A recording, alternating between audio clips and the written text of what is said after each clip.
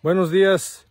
Nos encontramos en los límites de Tejupilco con San Simón de Guerrero, donde está un fuerte incendio que seguramente fue provocado. Hoy quiero aprovechar eh, este espacio para decirles a los campesinos, amigos agricultores, ayúdenos cuando tengan que todavía estén practicando la quema para la siembra, avísenos al área de protección civil para que los auxiliemos y evitemos estos desastres naturales que son provocados.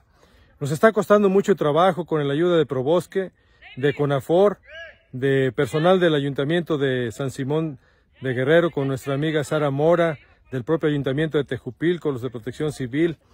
Y hoy estamos trayendo víveres para poder ayudar aquí a que juntos logremos controlar este incendio. Está costando mucho trabajo. De verdad hagamos conciencia por preservar nuestros bosques. Es lamentable ver estos desastres que año con año se suscitan. Ayúdenos, por favor. Dios me los bendiga y esperamos que nos sigan ayudando a los vecinos de aquí para poder controlar este incendio.